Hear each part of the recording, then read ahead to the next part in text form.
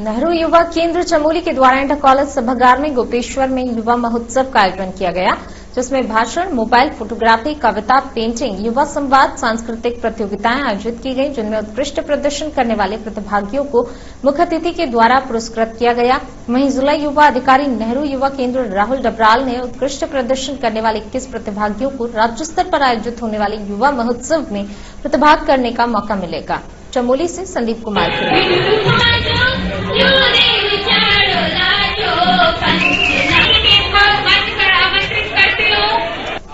हमारे नेहरू युवा केंद्र द्वारा जिला चमोली में युवोत्सव कार्यक्रम कराया जा रहा है, जिसमें छह प्रतिभागियाँ जो हो रही है एक है हमारा मोबाइल फोटोग्राफी, एक है पेंटिंग, एक है हमारा पोएट्री, एक युवा संवाद, एक भाषण प्रतियोगिता और एक सांस्कृतिक कार्यक्रम। इनमें से जो हमारे 21 प्रतिभागी होंगे, वो लगभग हमारे स्टेट में जाएँगे, राज्य में जाएँगे और राज्य में जो जीतेंगे, वो हमारे नेशनल्स में जाएँगे। आज यहाँ पे तीन प्रकार के कार्यक्रम यहाँ पे निर्वाचन की भारत सरकार द्वारा यहाँ पे किए जा रहे हैं, जिसमें मैंने फोटोग्राफी में पार्टिसिपेट किया है, जिसमें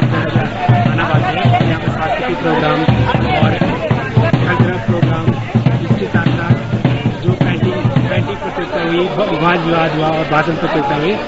जिसमें सभी विकास खंड नौ विकास खंडों के छात्र छात्राओं ने प्रतिभाग किया और बहुत अच्छे से यहाँ पे प्रोग्राम हो रहा है।